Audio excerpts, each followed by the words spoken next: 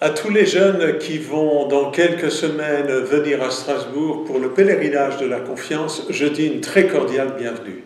Nous sommes très heureux de vous accueillir d'où que vous veniez. Nous savons que vous venez de tous les coins de l'Europe et j'espère que vous ferez ici, dans cette belle ville de Strasbourg, de belles et fraternelles rencontres.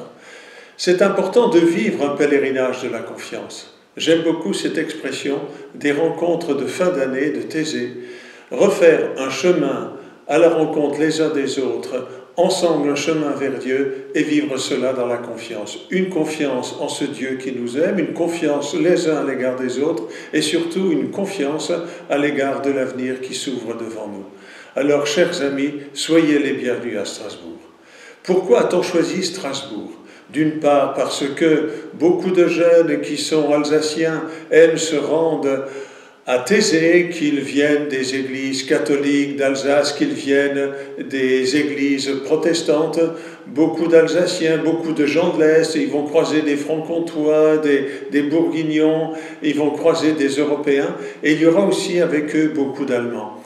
Choisir Strasbourg était donc un, lieu tout à fait propice pour bien comprendre la démarche des pèlerinages de la confiance organisés par les frères de Thésée, que je salue et que je remercie aussi. Alors on peut dire que Strasbourg, qui vous accueille, va se sentir honoré de votre présence, mais se sentir très à l'aise avec vous. Vous savez que Strasbourg, c'est le lieu de la réconciliation franco-allemande, c'est une ville symbole de la réconciliation entre deux peuples jadis ennemis et qui se regardent avec beaucoup de fraternité et d'estime mutuelle. Lieu de la réconciliation franco-allemande, lieu aussi de la construction européenne à travers les institutions près desquelles vous allez vous rassembler, vous trouver. Et puis, en allant dans la ville, au cœur de la ville, vous apercevrez la magnifique silhouette de la cathédrale de Strasbourg ce bel et grand édifice qui pointe vers le ciel, un signe de confiance. Votre confiance, mettez-la en Dieu. Tournez votre regard vers lui, levez les yeux au-delà de vos difficultés présentes et tournez-vous avec confiance vers celui qui vous appelle à vivre. Alors, bienvenue d'où que vous veniez.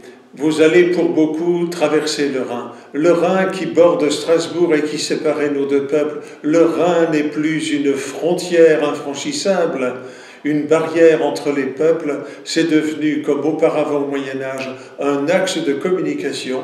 C'est devenu un trait d'union. Alors je souhaite que cette rencontre fasse de vous des artisans de réconciliation, des traits d'union entre les peuples. Soyez aussi, comme, comme on le dit du pape, un pontife, c'est-à-dire des personnes qui bâtissent des ponts entre les générations, qui bâtissent des ponts entre les peuples, qui bâtissent des ponts entre tous ceux qui s'ignorent encore. Bienvenue.